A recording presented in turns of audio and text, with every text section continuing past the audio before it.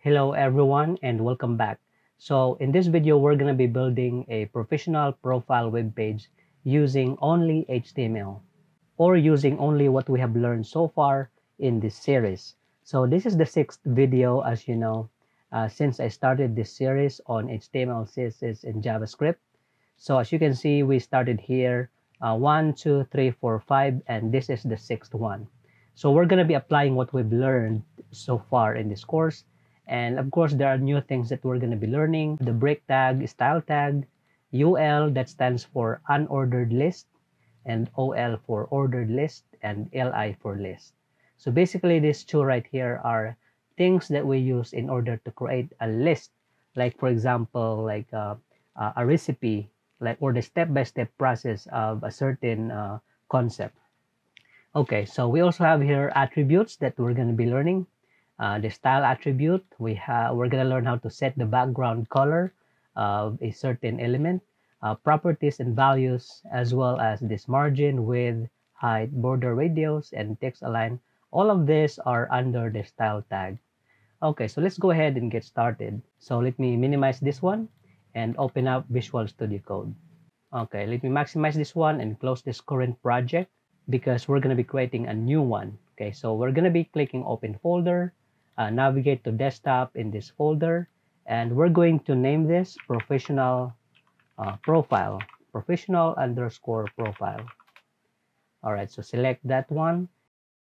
Okay so since we have this pop-up right now uh, it's likely that you will not encounter this. But just in case just check this checkbox over here and click uh, I trust the authors.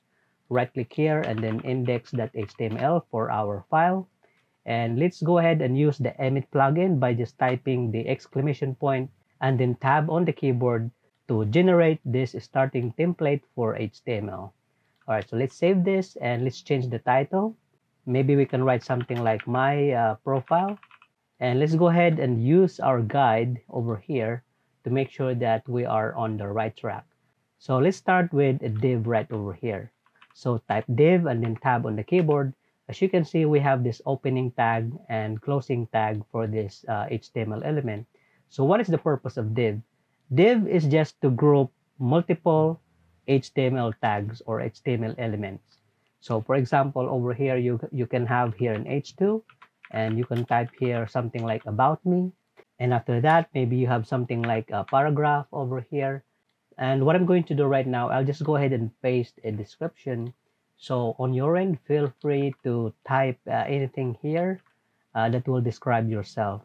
And right now, I'm just going to press Alt-Z on the keyboard to make sure that the code is wrapped around within this available window or the size of our window. So feel free to write your own story here. And I'm going to right click here and open with live server so that we will see on the page what is happening to our project. And as you can see, we already have this H2 and the paragraph. All right, so next, let's just go ahead and pull out our guide over here. And uh, let's check the paragraph. I think we are already familiar with that. What is the BR tag over here? BR tag stands for break. So for example, over here, we have this paragraph. We know that this paragraph is continuous, right? So I'm going to press the Alt-Z again to toggle the uh, wrap code or wrap text. As you can see, it is continuous. The only reason that it's showing up right now is because we are using the Alt-Z or the wrapping of text. Uh, you can also use that over here uh, by clicking on View and then Word Wrap. So it's just forcing the text to go into the next line. But uh, in reality or technically, it is a continuous text over here. We have the opening P tag and we have the closing paragraph tag right over here. So what we're going to do is click over here and maybe type a couple of uh, enter, uh, press the enter key a couple of times, and maybe another one over here, like so, maybe over here as well. And let's go ahead and save our work. So save all, and let's see what happens to our project. So over here, we have this project being previewed. And as you can see, nothing happened. Even though we have pressed some space, some white spaces here using the enter key, uh, but on the browser, they are still they are still intact all right so that's one thing to understand right now is by default text in html ignores extra spaces it will only entertain one space, like uh, space over here for each word.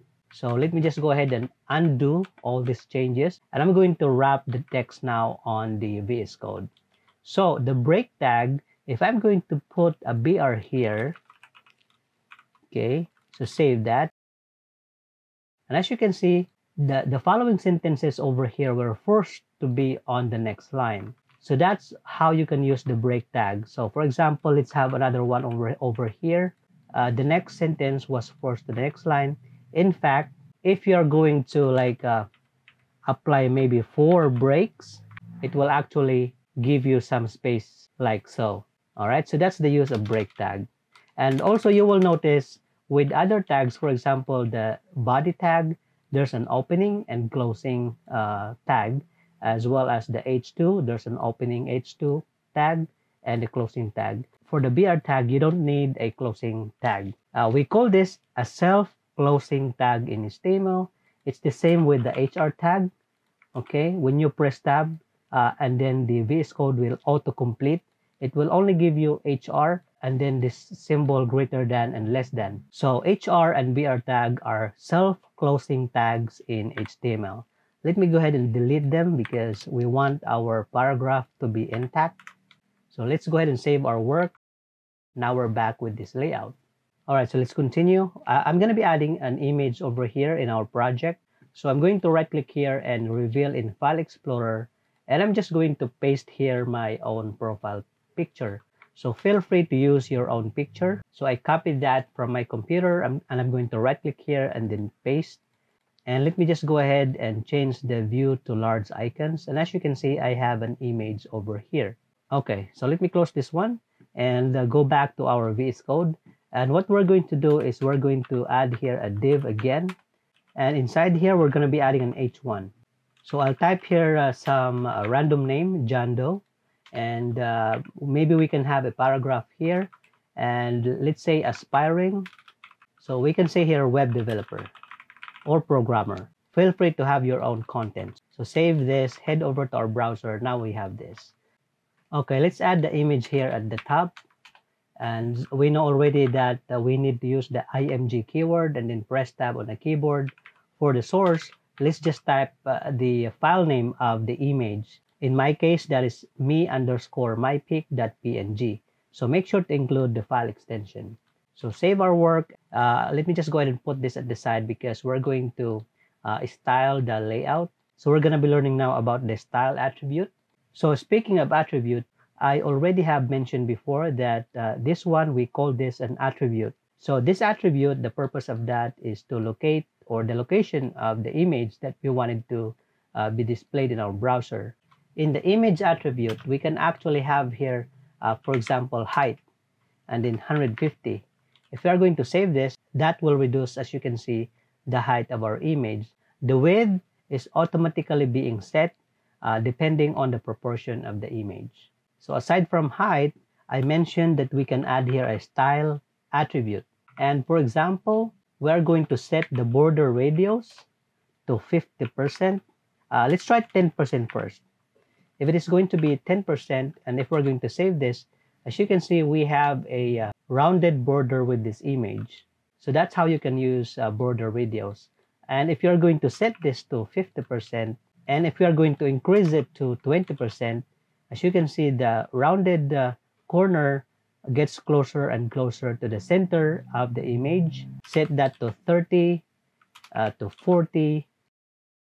And if you are going to set it to 50%, and save our work. As you can see this is how you can uh, produce like a circular shape of an image provided that your image is a perfect square. So now for example we want this image to be centered on the page. Uh, there are multiple ways to achieve that. In programming there are always multiple ways to achieve the same result. So the method that i'm going to show you right now is just one of the many ways on how you can do that. So i'm going to wrap this image with a div I want to make sure that the closing div tag is located over here at the bottom to make sure that our image tag is enclosed with the div tag. Inside the div tag, I'm going to type here an style attribute. And then I'm going to say text align center. Okay, so let's go ahead and click center. and save that. Now our image is centered. Now that we have done that, we can go ahead and copy this and paste this style attribute over to the next div. As you can see, uh, since we have two elements inside this div, both of them were centered on the page. If you want, you can have an HR uh, horizontal line over here, and that will give you this line. So in a professional profile, it doesn't only include the about me, right?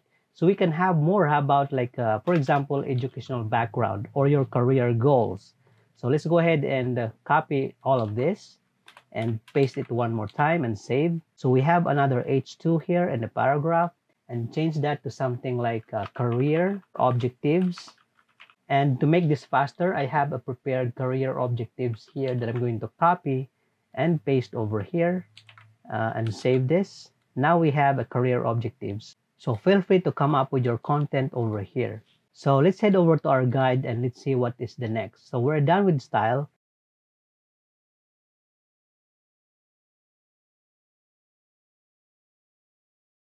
Now let's have the UL and OL. So let me just first demonstrate to you what is the uh, OL. OL is the tag that we use if we want to generate like a flexible sequence of numbers. So for example, LI over here, and I'm going to type, for example, banana, and I'm going to copy and paste that like uh, four, uh, three more times.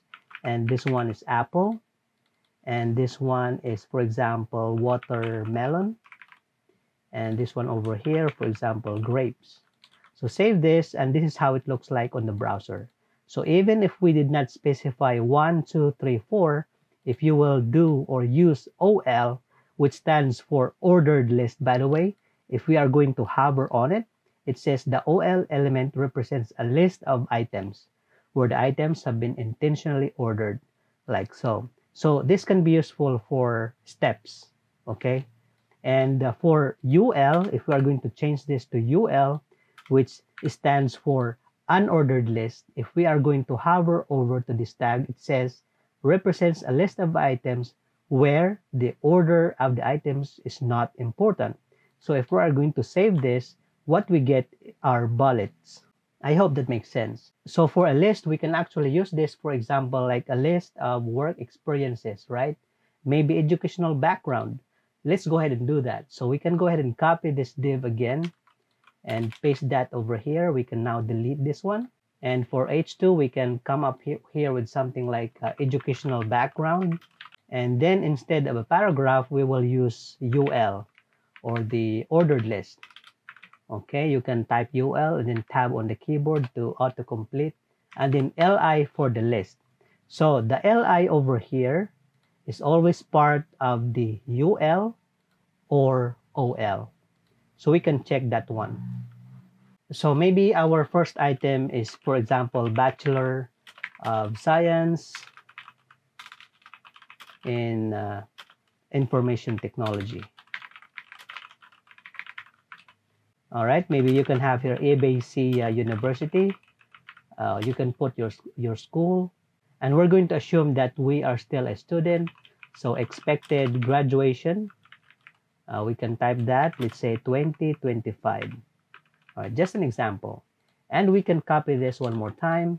And maybe the other one is going to be uh, maybe a short course, right? For example, web development uh, training, let's say XYZ uh, Institute or whatever the company uh, that you have attended the training. All right, to save that, now we have here two bullet points under educational background with your course and then some training over here. So feel free to add more contents over here. Normally in a professional profile, you also have this like work experiences. Okay, so we can copy that and just change the content to uh, work experiences. And instead of a course, maybe we can come up with like internship. And from ABC Tech Solutions, all right, I'm just trying to come up with a random uh, company name, uh, let's say during the summer 2023. And maybe you can come up here if you have done some freelancing, uh, maybe web designer. Maybe you've been designing websites from 2022 uh, up to the present. All right, so if we're going to save this, now we have at least two uh, items in our work experiences. If you want, you can have another one, for example, hobbies. So just go ahead and change the content over here, uh, hobbies. And normally we put the hobbies that are relevant to what we're applying for. So for example, exploring uh, new technologies can be a good hobby. New technologies and gadgets, okay? Uh, and uh, maybe the next one is probably photography uh, to give an impression that you have some artistic talent. Maybe traveling. All right, so if we're going to save this, now we have these items in our professional profile. So when it comes to the margin or height and width, I think we're done with height and width. Uh, for the width, for example, over here in our image, so if you have defined here a width, it will actually achieve the same result, okay? So uh, because if you define height uh, only or width only, the other attribute is automatic unless you're going to specify a separate width. So for example, this one, oops, hold on. I think we accidentally deleted the style attribute. So for example, this one width, and we're going to set this, for example, 500. Save that, and it will actually stretch our image like so. So that is something that we do not desire, right? So typically, we only define at least one attribute when it comes to the height and width. All right, so save this. And over here at the bottom, uh, what we're going to do is to apply what we've learned when it comes to the uh, to the uh, anchor tags. Okay, so we have some anchor tags over here. Maybe you have a YouTube channel, right? So you can put the link here of your YouTube. For example, I think I have mine opened over here. I can copy that and paste that over here. So you can copy this like two more times maybe you have LinkedIn, okay, maybe Instagram or perhaps Twitter. All right, so I'm not going to be changing the attributes right now. You already understand the purpose of this one. So I'm going to save this and maybe we are also going to use a style attribute over here and we're going to say text align center. Uh, save that and if we are going to check the preview of our project and we have some links over here if we are going to click that, it will route to the link that you have used in the href attribute, this one right over here. So for LinkedIn, just paste your LinkedIn attribute over here. And for Twitter, the corresponding attribute as well. If you want, you it is also possible to add a style tag over here. Uh, let's say, for example, margin right. Uh, let's say 100 pixels. Let's try to exaggerate uh, in order to understand the concept. As you can see, there is a space for this anchor tag. So it doesn't make sense. Maybe just right around uh, 10 pixels or 20. All right. So for now, you can actually copy this and uh, paste it over here to have some spacing with the other elements as well. If you wanted to have a spacing in between this UL tag and this anchor tags over here, we know that these elements are being wrapped in a div so you can actually define the style tag over here. In fact, you can just copy this and paste it over here. Make sure there's like a, a double quotes at the end. And instead of right, we're going to say margin bottom and probably around 200 pixels. And as you can see, we have some spacing over here. That's quite uh, a huge uh, difference, maybe just around 90 pixels, maybe around 60. All right, so I think we're good. All right, so that's it for the professional profile, as you can see. All right, so just to double check if we have covered everything, text align, border radius, margin. All right, so for the background color, it's very, very simple. So for example, we are going to target the body and uh, we have some style here and we're gonna set the background color to, for example, aquamarine. We can save that and it will apply this color over here. And aside from that, you can actually go ahead and hover over into this color and actually manually pick something maybe lighter. Okay, save that. Now we have this kind of color. All right, so feel free to experiment on your end what we have learned so far. And I hope that this has been informative for you. See you in the next one.